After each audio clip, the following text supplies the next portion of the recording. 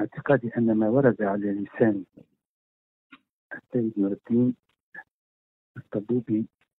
هو نوع من المجازفة وكأن الرهان الذي آه، سيعتمده الاتحاد في المرحلة القادمة رهان صعب جدا إن لم نقل آه، آه، مستحيل تحقيقه في الفترة الوجيه وذلك يعود لسببين. السبب الأول أن الرئيس لم يعود التونسيين عن التراجع عن أي اختيار آه، أو عن أي قرار اتخذه. الرئيس مواصل في سياسته مصر على تطبيق المشروع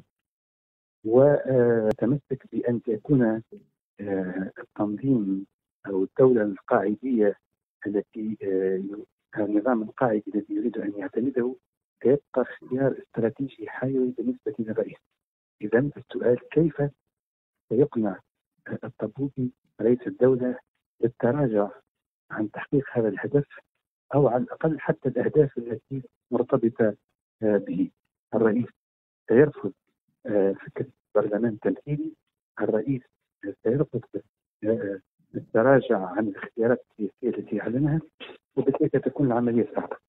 المستوى الثاني الذي سيكون صعب هو آه، كيف سيحدث التوفيق بين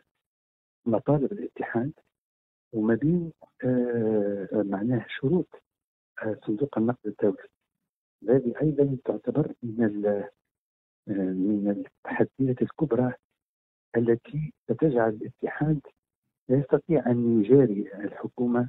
في الاختيارات التي أو الرهان الذي تريد أن آه، تصل إليه من خلال المفاوضات مع صندوق النقد. باختصار أقول بأن آه، رهان الطبوبي رهان صعب جدا تحقيقه في السياق السياسي الراهن حاليا إذا كان ربما ستكون هناك محادثات بين الاتحاد وبين الحكومة آه، ولكن نتائج هذه المحادثات آه، لن تكون آه، في مستوى ما تراهن عليه الحكومة ورئيس الجمهورية من جهة وأيضا ما يراهن عليه الاتحاد من جهة أخرى.